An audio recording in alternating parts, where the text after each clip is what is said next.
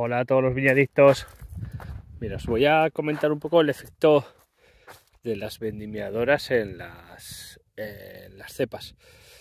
La vendimiadora es una buena herramienta para acelerar sobre todo lo que son las vendimias, eh, pero no es, o sea, no, no, es eh, ausente de consecuencias para el viñedo. lo primero sobre todo es la duración del estado de la hoja. Al final la vendimiadora es un vareo y este vareo lo que va a hacer es romper muchas hojas, ¿no? sobre todo en los niveles inferiores. Sí que es verdad que cuando tenemos muchísima masa vegetativa es un nivel inferior donde la hoja ya está envejecida, pero en estos casos que no tenemos mucha vegetación, pues el daño se produce en más del 50% de las hojas. Fijaros, todas estas hojas que por el vareo es al final casi como un pedrisco, ¿no? Están dañados. Luego también se producen eh, heridas en sarmientos. Fijaros estos sarmientos como han quedado incluso muchos quedan rotos, ¿no?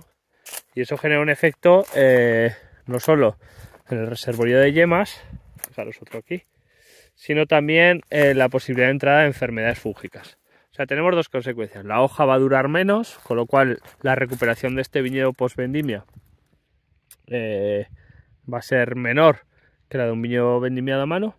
Y luego las posibilidades de que se proliferen aquí enfermedades de madera eh, va a ser más alto.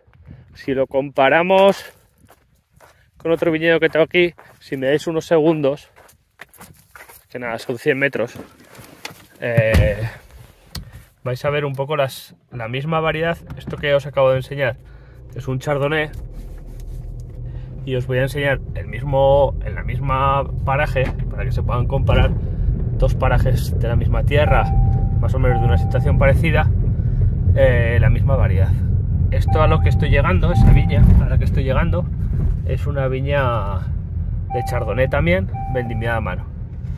En este caso, la primera que os he enseñado es el vecino y esta es una gestionada por nosotros para un proyecto. Y entonces podéis ver cómo está el estado vegetativo de la planta. ¿Vale? Las hojas están bastante, bastante en buenas condiciones. Eh, la uva ya se sacó de aquí, más o menos se sacaron al mismo tiempo, prácticamente con un día de diferencia, vendimiamos los dos, pero fijaros aquí, no hay sarmientos rotos, la hoja está en perfecto estado. ¿Qué va a pasar aquí? Que esta planta, con toda su vegetación al 100%, si este fin de semana caen lluvias, pues va a hacer muchas reservas para el año que viene.